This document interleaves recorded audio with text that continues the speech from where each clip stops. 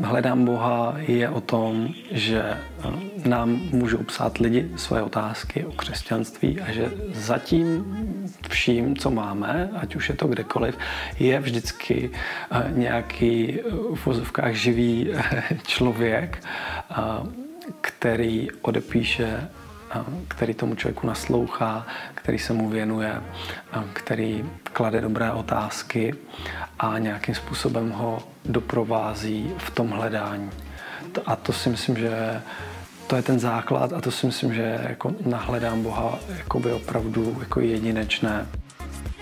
Jsou to lidé, kteří něco hledají, vědí, že jim nějakým způsobem něco chybí.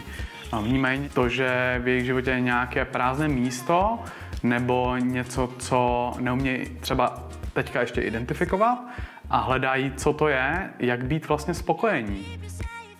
A Bůh může pro ně být odpovědi na jejich otázky.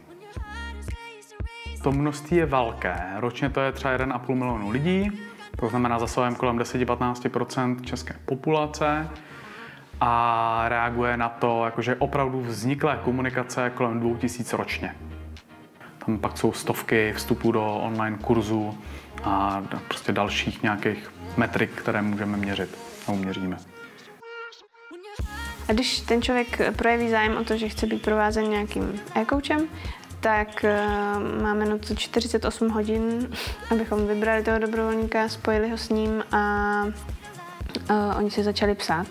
Takže jako chceme nejpozději do druhého dne tomu člověku odepsat na nějakou jeho první zprávu.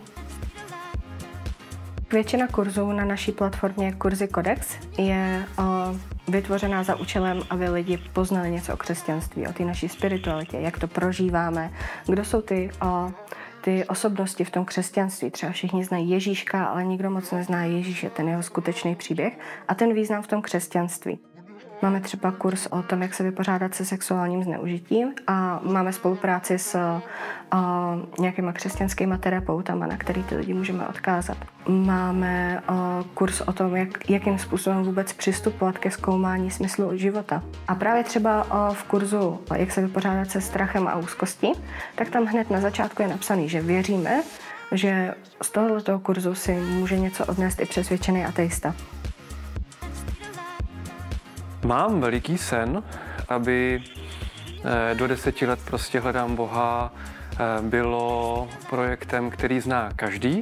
A když někdo si bude klást ty otázky eh, po smyslu života, po víře, tak prostě ho napadne i nehledám Boha CZ.